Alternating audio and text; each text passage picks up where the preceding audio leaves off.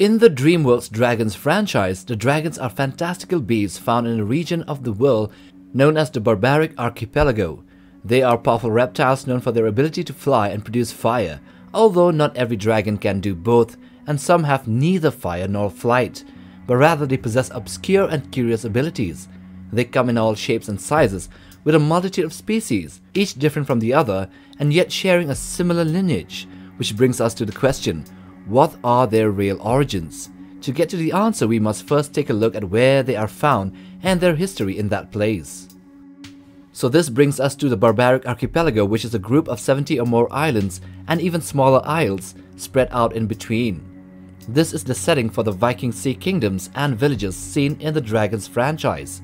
The exact location of this place is between Greenland and the Norwegian seas. So dragons there and people have been at odds for countless of years and they have battled one another with every single chance they get until Hiccup and the Night Fury called Toothless brought about a new peace. This tells us that the dragons have been in and around these seas for hundreds of years, meaning that they have evolved and diversified in the barbaric archipelago probably earlier than even humans made landfall in the islands there. In the original book series by Cressida Cowell, the dragons have a mystical origin.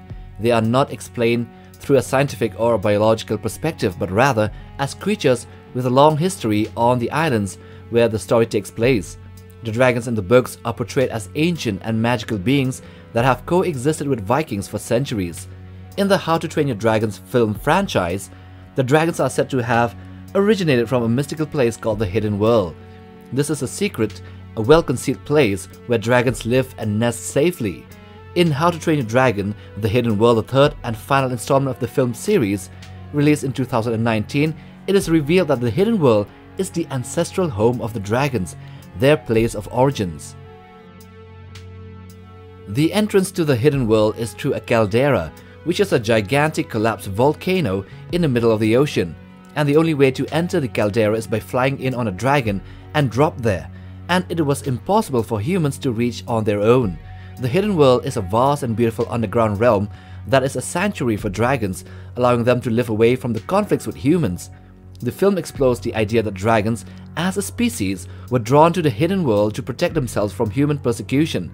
The concept of the hidden world becomes a central theme in the third movie as Hiccup and Toothless try to find a new home for dragons where they can live peacefully and free from the threats posed by dragon hunters, which leads them to their original home. So in the context of the films, the dragon's origins is associated with the hidden world, and it plays a crucial role in the conclusion of the trilogy. This concept is unique to the cinematic adaptation and differs from the more mystical and less defined origins presented in Cressida Cowell's original book series. The dragons, however, in the books are considered to be a part of the natural order of the world in which the stories are set, they are depicted as diverse species with unique characteristics and their existence is deeply intertwined with the history and culture of the Viking communities portrayed in the books.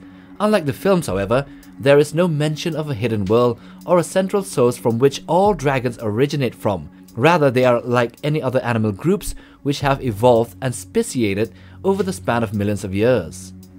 So, this place, the Hidden World, is set within a massive volcanic caldera, serving as a portal to an intricate maze of chambers and volcanic tubes beneath the Earth's crust. This subterranean world features bioluminescent fungi, coral, and scintillating crystals creating a visually stunning environment. Waterfalls and pools on coral shelves are formed by water seeping through the cracks in the crust, with heated water turning into steam creating a tropical atmosphere. The hidden world is accessible through a collapsed volcano in the ocean called the caldera, which then can only be entered by flying in on a dragon. The caldera leads to a network of caves deep beneath the Earth's crust, eventually reaching the mushroom forest, characterized by stalactites and stalagmites covered in various mushrooms. The King Island is located at the center of the hidden world, serving as the throne room for the King of Dragons, which was the Night Fury, uh, Toothless. And in that place is the Alpha's throne, being a gigantic crystal overlooking a significant portion of that hidden world.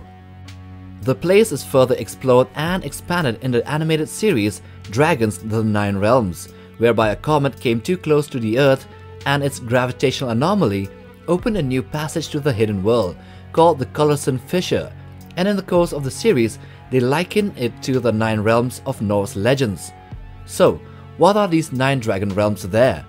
The first to be described and seen is the Crystal Realm, accessible through the Cullosen fissure created by the comet. It features intricate crystalline structures connected by caves and underground lakes. It is a stable habitat for the tidal class dragons due to its huge and large water sources.